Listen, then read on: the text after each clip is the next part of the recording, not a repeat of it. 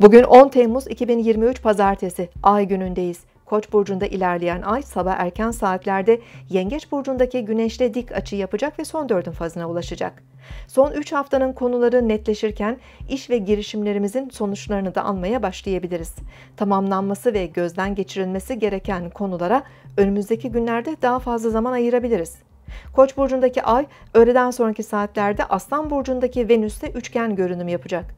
Ateş elementinin güçlenen enerjisi heves ve coşkumuzu arttırırken yaşamın keyifli ve eğlenceli alanlarına da daha fazla çekilebiliriz.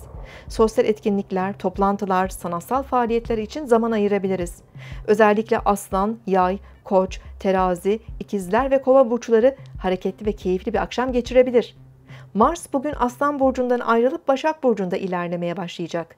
Mars 27 Ağustos'a kadar Başak Burcu'nda ilerleyecek. Bu dönemde enerjimizi iş, meslek, çalışma, eğitim, hizmet, sağlık ve düzen alanlarına daha fazla yönlendirebiliriz. Titiz, çalışkan ve mükemmelliyetçi davranabiliriz. Siz de şimdi kanalımıza abone olun, yorumlar bölümüne sorularınızı yazın, sürprizlerimizden haberdar olun.